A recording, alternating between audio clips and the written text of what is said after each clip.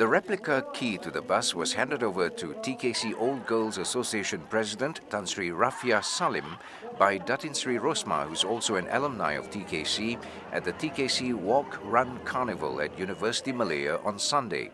Ini adalah kenderaan kedua. Kenderaan pertama yang telah diberi ialah tahun lepas iaitu sebuah bas yang dapat dinaiki oleh 44 orang murid.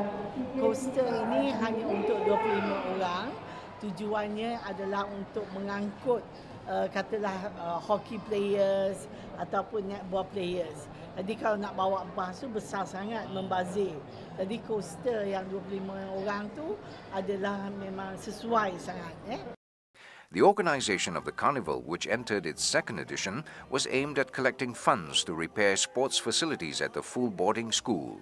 More than 1,000 participants took part in the carnival, which encompassed numerous sporting activities.